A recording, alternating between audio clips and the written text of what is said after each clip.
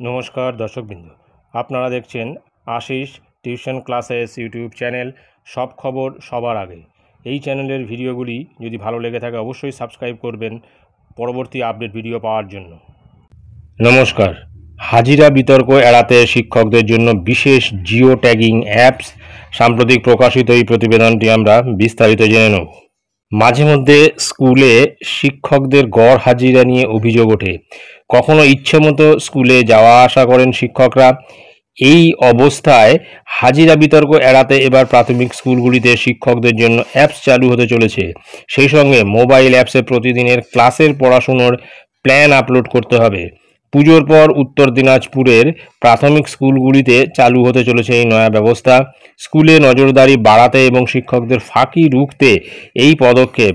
সম্প্রতি জেলা প্রাথমিক বিদ্যালয় সংসদ এই বৈঠকেই এমন সিদ্ধান্ত নিয়েছেন জেলা শাসক তথা জেলা প্রাথমিক সংসদ চেয়ারম্যান সুরেন্দ্র কুমার মিনা।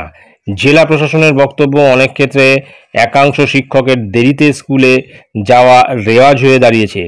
পরিদর্শনে গিয়ে সতর্ক করা হয়, কিন্তু তাতে ফল মেলেনি। স্কুলের ছাত্রছাত্রীদের এই জন্য বিভিন্ন সময়ে সমস্যায় পড়তে হয়েছে। এই জন্য জেলা পরিদর্শকের নেতৃত্বে ছোট ছোট দল তৈরি করে স্কুলগুলিতে নজরদারি চালানো হয়। জিও ট্যাগিং লিঙ্কে প্রয়োজনীয় তথ্যসহ সকাল এগারোটা পনেরোর মধ্যে শিক্ষক শিক্ষিকাদের ছবি আপলোড করতে হবে। জানাতে হবে পড়ুয়াদের উপস্থিতির কথা। ইতিমধ্যে শিক্ষকদের মোবাইল অ্যাপসের তথ্য সংগ্রহ করা হয়েছে।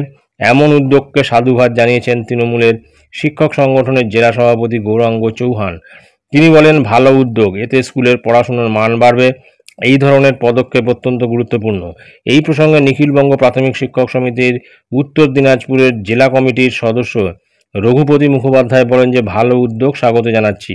জেলা স্কুল পরিদর্শক প্রাথমিক দুলাল সরকার বলেন যে, হাজিরা ঘিরে অনেক স্কুলেই অভিযোগ হচ্ছে, জিও ট্যাগিং পদ্ধতিতে হাজিরার বন্দোবস্ত করলে এইসব বিতর্কের অবসান ঘটবে। তো বোঝা গেল যে নতুন একটা অ্যাপস চালু হতে চলেছে শিক্ষক শিক্ষিকাদের হাজিরা সংক্রান্ত বিষয় নিয়ে। যাই হোক, এই ধরনের বিভিন্ন ঘটনা ঘটছে হাজিরা নিয়ে। তো এই বিষয়টা অত্যন্ত জরুরি প্রাথমিক স্কুলের মতো বিভিন্ন জেলার বা আমাদের রাজ্যের সব স্কুলগুলির, বিশেষত হাই স্কুলগুলিতেও কিন্তু এই অ্যাপস চালু করা আবশ্যিক। অথবা বায়োমেট্রিক যে হাজিরা, সেটা কিন্তু অবশ্যই হাই স্কুলগুলিতে এখনই আনা দরকার। তো এটাই ছিল গুরুত্বপূর্ণ আপডেট যেটা আমি আপনাদের সঙ্গে শেয়ার করলাম। ধন্যবাদ।